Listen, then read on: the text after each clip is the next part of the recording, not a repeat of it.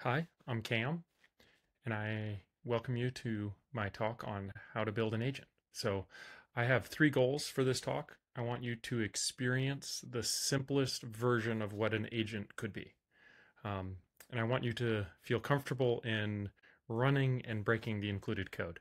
Um, I think the, the running and breaking is a very, very important part to the learning.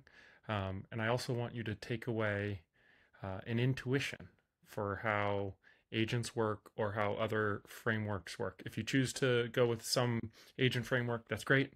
Um, I want you to have some understanding of maybe the underlying, the underpinning building blocks that they used to make it work. So with that, let's get to some slides.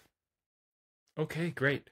This is where you can find me on LinkedIn. This is where you can find the slides for this talk and the code. I really encourage you to go and grab the code, try it, run it, break it, see where this code begins to turn from deterministic outcomes to a feeling that you're starting to starting to play with an agent. So what is an agent? Uh, I really like both of these definitions, uh, agent, LLM, memory, planning, tools, and a while loop.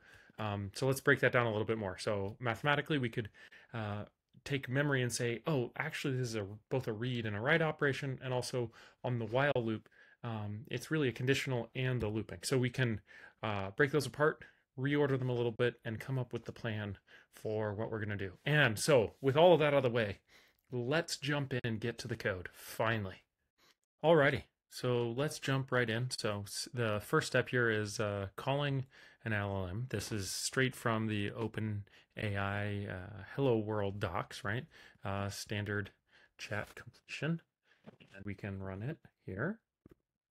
Step zero. Okay. Um, this should be pretty standard for most people so far. Okay, great. Um, then let's jump to the step one, the condition. So um, here we're going to have the same completion call, um, checking for the prompt. But then once we get the answer back, we're going to make another LLM call that's going to work as an LLM as judge, right? We are going to ask, you're strict critic, given the following question, determine if the answer is a full answer to the question, question, answer. Okay.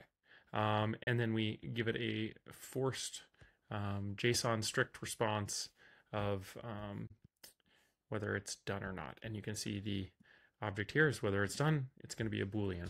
And the original question is, what is the average wing speed of a swallow? So we can go in and we can run step one to see how it works with a condition. So um, it gives me LLM as judge, gives me a thumbs up. That's great.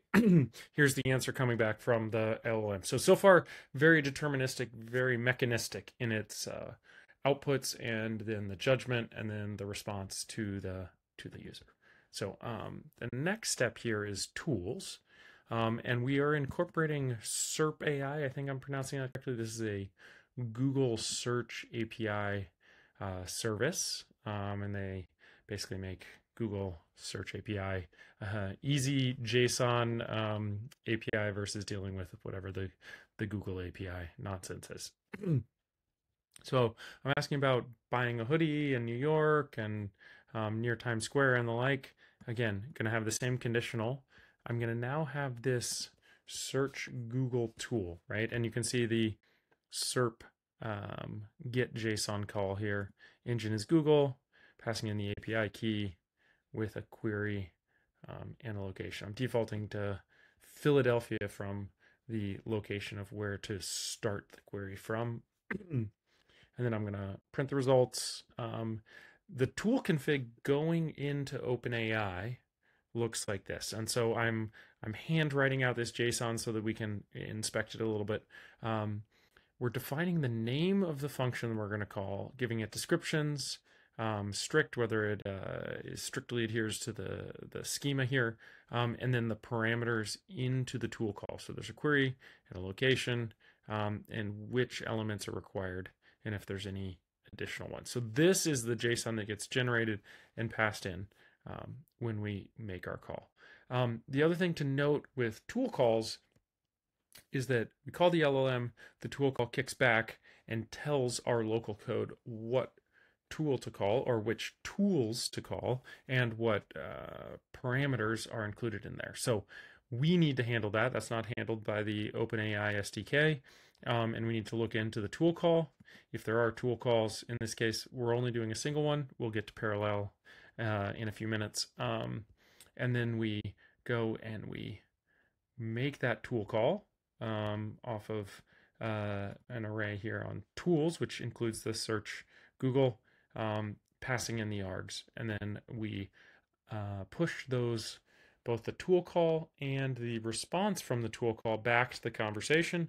And then we can um, complete with tools again, meaning in this case, we are recursing through and calling uh, back to the LLM with those responses passed in as those args, which will then make another determination. So, um, so main loop here, um, complete with tools, the prompt, search Google tool config, and then um, it re- responds back, and then it'll see, it'll internally loop on tool calls until it is satisfied and the LLM is satisfied, and then result come back out, and then here the critic will come and perform uh, condition again. So let us go here.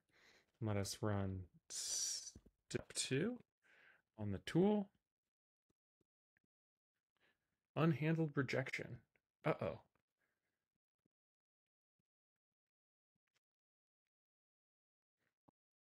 Okay, it looks like we failed there due to um, validation constraint on the location parameter. It doesn't take just any string, it takes a specific set of strings. Um, in this case, the LLM as judge gave us a thumbs up again. Um, again, this feels very deterministic. We are um, asking an LLM to determine that it needs to call a search API, and then we're asking the same LLM to go and evaluate whether that search API returned text that was a reasonable answer to where I could buy a fur-lined hoodie near Times Square. So, um, of course, still very mechanistic, very um, deterministic, very um, straightforward in its in its outcomes. Um, okay, but then let's take the next step. Let's go to step three. And in this case, um, a little refactoring is in order. Um, so same prompt around wanting to buy a a hoodie, fur-lined hoodie. Um, we've pushed the complete with tools into a other into a utils folder, so into another file, um, just to get it out of that main. This still has that same looping, but in this case, we've written this so that it can do the parallel tool calling. Um, these tool calls could come back with multiple, right? This could be an array of tool calls that the LLM is asking the the us to perform the client to perform. And so we're uh, promising all over the tool calls and we are um, passing in the function arguments for each of the tool calls um, into the tool functions um, here. And then we are then pushing the response from this local function that we've called back into uh, the conversation. And this will have a tool call ID so that the LLM is able to trace. Um, I asked for this tool to be called, and here's the ID, and then here's the response of that tool call. So sometimes it asks for the same tool to be called multiple times with different input parameters, right? So that's how that works. Um, the tools um, are configured. So, for example, in the search Google example, we're passing in this query um, as an object and it's performing the query and it's returning a string result. Um, in my mental model, uh, the tools are, are best handled by thinking of them as text transformations. You might have a couple of different parameters going in, but usually string to string is sort of the core of what uh, these tools are performing. Um, so that was the AI and the the completions uh, the sorry the complete with tools on the refactor. Um, and so that is here. And then we are outputting the result. Um, and then we are running the same LLM as judge. So we can run that again. That'll give us the step three. Um, that'll give us some additional looping and parallel tool calling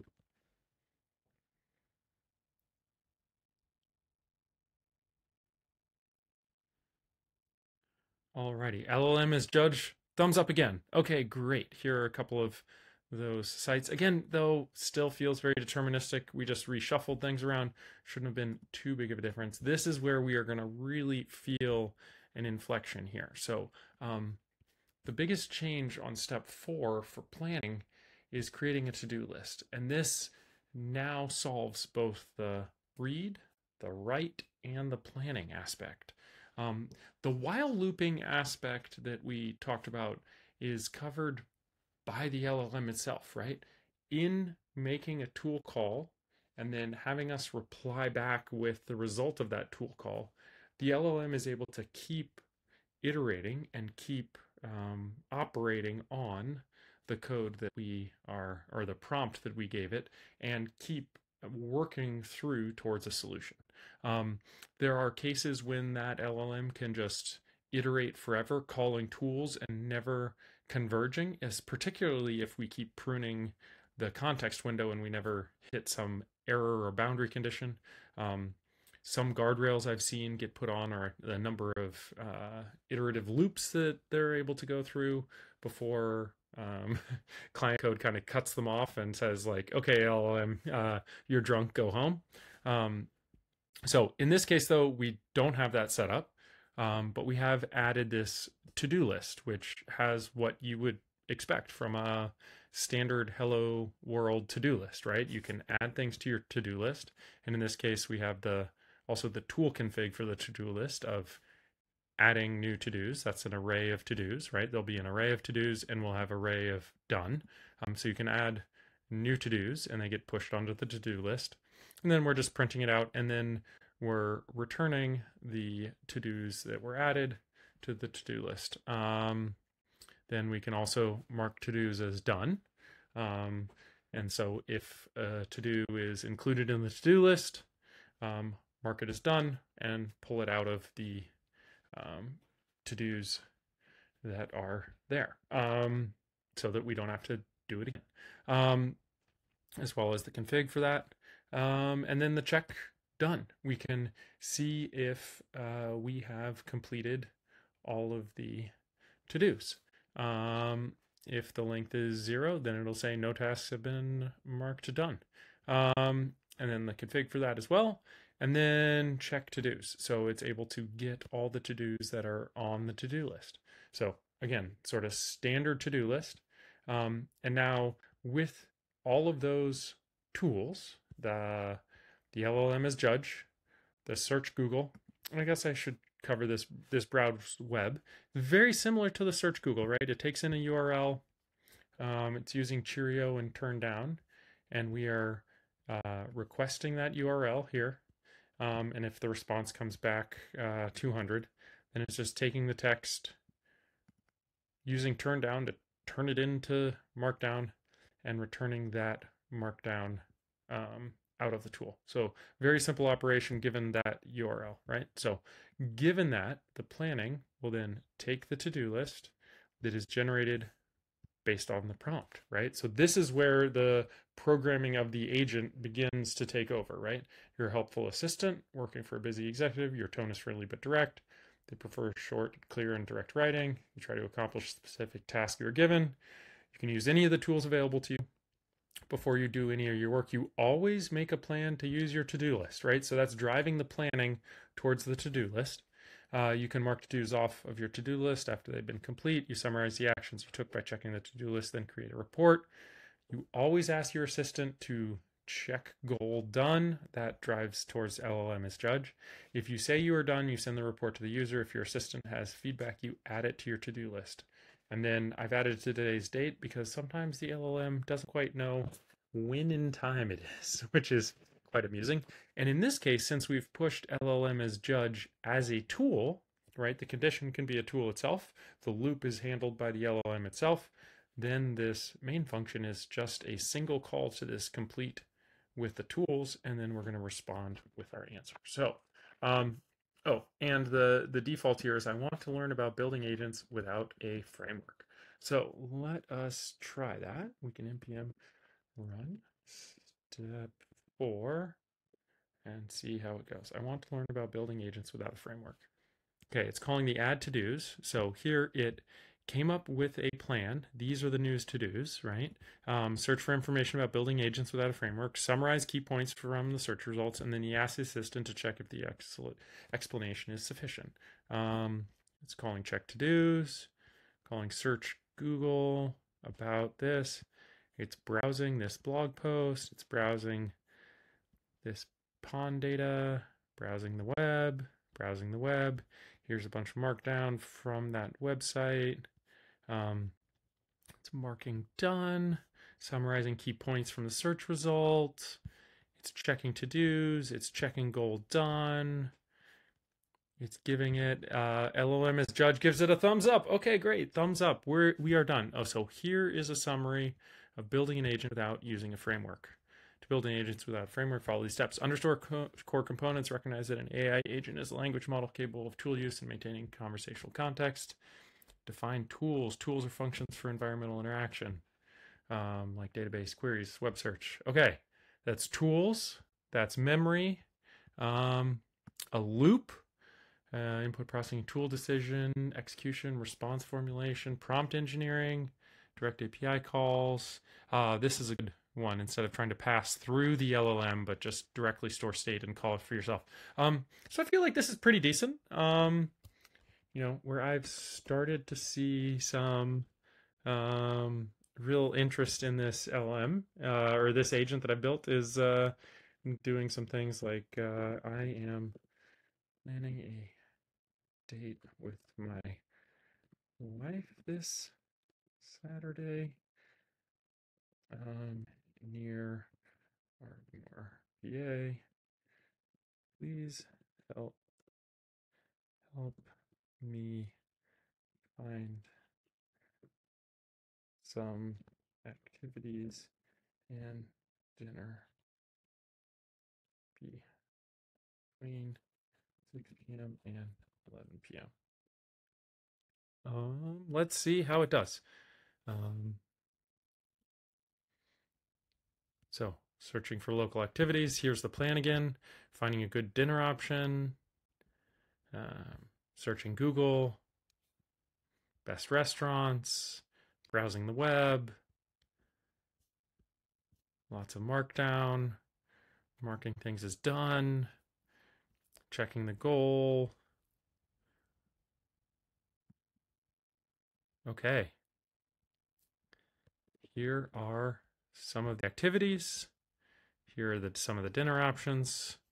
And hopes that I have a lovely evening. So it's not that this uh, this agent is perfect by any means, but hopefully you can see how adding each of these components from the LLM call, the conditional, the tool use, um, adding some planning, some read write in that to-do list, and how we can really leverage some of those things coming together and start to produce something that's that's quite interesting. You could see how next steps could be adding a vector database or injecting these um, browsed um, web pages into um, you know a, a Chroma DB in memory or into something into a more RAG like system. So hopefully this was really helpful and uh, hopefully this gives you some interest or excitement in how to dive in and uh, do this yourself. Okay, great. Thanks for coming to my talk. Uh, again, I'm Kam Lasater. You can find me on LinkedIn here. The slides are up on my personal site, and the code is up on GitHub. I encourage you to take it for a spin. Uh, let me know what you think. Let me know if uh, there's some improvements you could make, or if uh, something like this is exciting. We're always uh, building and looking for people who are interested to build agents for for our customers. So again, see you online. Cheers.